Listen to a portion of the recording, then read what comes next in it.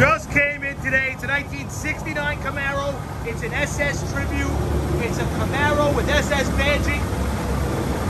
Black car, cowl hood, power steering, factory air conditioning, numbers matching 69 Camaro.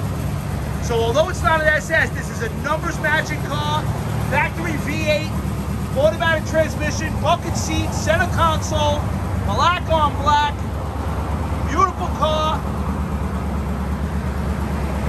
and drives great. Check us out, HollywoodMotorsUSA.com. Again, this is a 69 Camaro. Numbers matching, all SS badged up. Beautiful black paint, bucket seats, center console. Just check us out. Again, HollywoodMotorsUSA.com. What a really, really cool car. It won't last.